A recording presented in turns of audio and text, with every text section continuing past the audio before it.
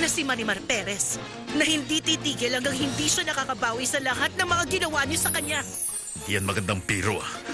Hindi ko alam. Pero hayaan na natin ganun para hindi ka na makulong pa. At hindi na niya kunin ang asyenda. Tatanggapin ko ang kahit na ano rin nato. Kahit na.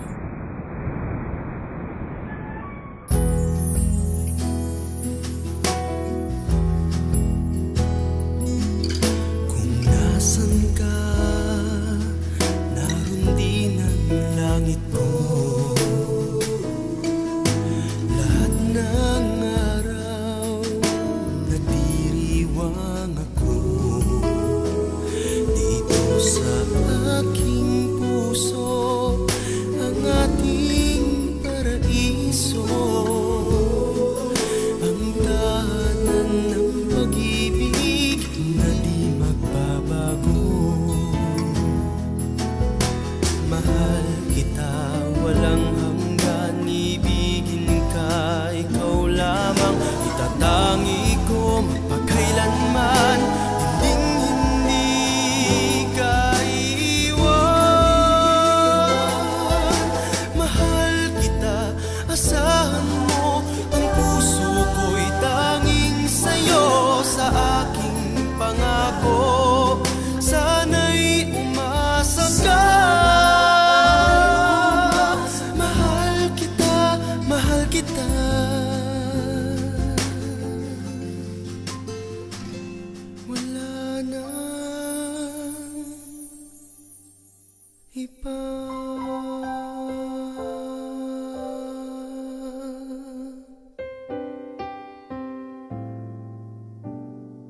Magkakaroon ako ng isang napakagandang araw sa Sabado. At ang pinakamalaking biro ay ang magiging kahihiyan na pagdadaanan ni Angelica Santibanez. Anong gagawin mo sa kanya, Iha? Paghihiganti ako sa kanya. Sa wakas. Sa wakas, mapaghihigantihan ko na si Angelica. Pakakainin ko siya ng putik sa pamamagitan ng kanyang mga ngipin. Tulad ng ginawa niya sa akin noon. Malapit na. Makakapaghiganti na ako kay Angelica. Sana naman ay matapos na ang paghihiganti niya sa babaeng yun. Kaya lang pagkatapos nun, masasaktan din si Sergio. Pasensya na, ganun talaga. Mahal ko si Chuy, padre. Mahirap para sa akin ang paniwalaan niya. Bakit naman po? Isa siyang masipag, gwapo at may mabuting kalooban. Pero hindi siya karapat-dapat sa'yo. At dapat pag-isipan mong mabuti ang tungkol sa bagay na yon. Huwag kayong ganyan. Mahal na mahal ko siya at wala akong pakialam kahit na mapunta ako ng Realengo para lang makapiling siya. Alam mo ba ang lugar na yon? Hindi, padre. Hindi ko pa napupuntahan. Kinausap ko na siya tungkol sa bagay na yan. Alam kong hindi niya kakayanin na magtagal doon. Makakaya ko yon. Kaya ko yon dahil nasa tabi ko ang aking asawa at ang aming anak. Mahal na mahal mo si Chuy, hindi ba, padre? Kilala ko na siya mula pa nung pagkabata. Isa siyang sakristan sa simbahan. Huwag kayong mag-alala. Hindi ko siya sasaktan. Isinusumpa ko, padre. Ah, o sige, Iha. Naniniwala na ako.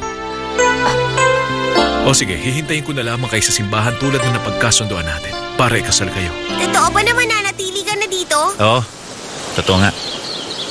At dadalhin mo ang mahinhin na babaeng yon? Na asawa mo? Oo. Ba't mo tinatanong yan? Kasi sinabi ng nanay ko na hindi siya makakatagal dito. Pwes sabihin mo sa nanay mo, huwag makikialam sa buhay ng iba. Hmm? Teka, hindi ka ba nag-aaral? Napakalayo ng eskwelahan, tsaka ayoko. Paano ka matututo kung hindi ka nag-aaral? Sino mo sabi gusto ko mag-aral?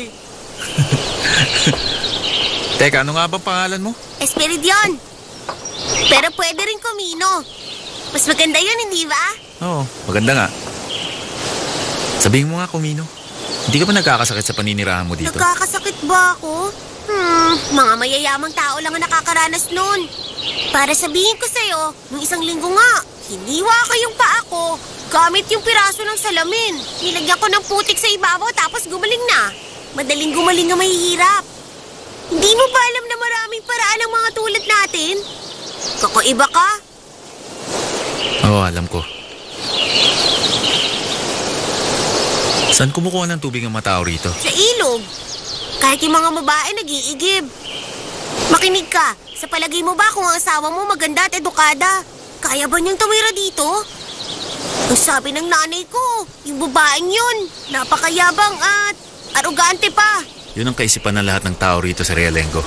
Oh, yun ang kaisipan? Bago yan ah. Alam mo ba? Ang kubong ito, sadyang malayo sa karamihan. Kaya sabihin mo sa kanilang lahat, manatili sa mga sariling bahay nila at magdasal na lang. Naintindihan mo? Napakaganda bagay na bagay sa'yo. Bueno, ang totoo niyan, lahat ay bagay sa'yo. Dahil meron kang magandang katawan. Sabi mo kasama mo ang gobernador sa pagdalo sa kasal na yon? Pues ipagmamalaki niya habang ikaw ay nakakapit sa kanyang mga braso. Alam mo, matagal na ring byudo ang gobernador. Baka iniisip niyang mag-asawa na muli. Kung may sasabihin ako sa'yo, kaya mo bang isikreto? Mhm. Maaring ako ng ang susunod na first lady dito sa Valley Encantada.